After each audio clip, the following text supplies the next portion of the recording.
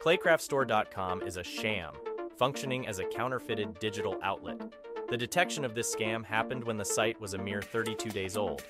No trace of a customer service number exists. The content, far from original, seems to have been copied from similar sources. The products showcased on this digital platform are a farce, with their poor quality components possibly posing a safety hazard. All the images on this site, strikingly, are counterfeit.